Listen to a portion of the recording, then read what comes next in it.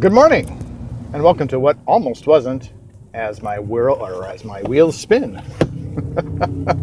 Had some challenges lately in creating these videos in the morning, in that uh, I've been concerned about what the actual video itself is about, whether I have any content available. So I finally decided, screw that. I'm going to actually just uh, do my vlog like I've been talking about doing, and just do it, and rather than slicing it together with a whole bunch of edits and such, just put it out there. So here it is, and we're going to go forward with it.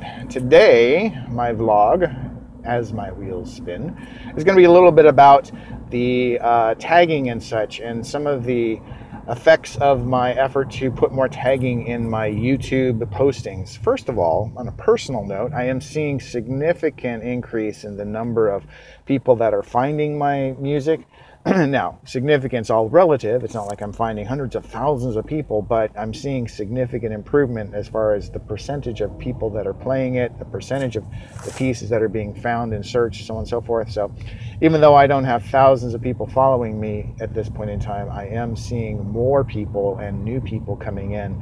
And it's a good percentage increase. It's in the 25 35% increase, which I find amazing because I was thinking maybe a 3 to 5% increase. So, uh, tagging is where it's at.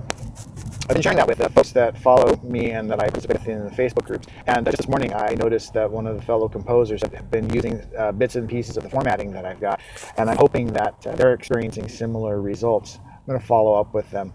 At, at, a minimum, I am very, very excited to be seeing other people taking the ideas that are out there around tagging and trying different things, experimenting with them, and hopefully, as a group, we'll all see some very good progress on our stuff. So, if you're one of those composers that actually is doing some of those things and you know who you are, please uh, tag me in this video or uh, send me a comment in the video and, and let me know what you're seeing and uh, again, I appreciate the fact that you guys are paying attention and actually making some movement on some of the things that you're doing.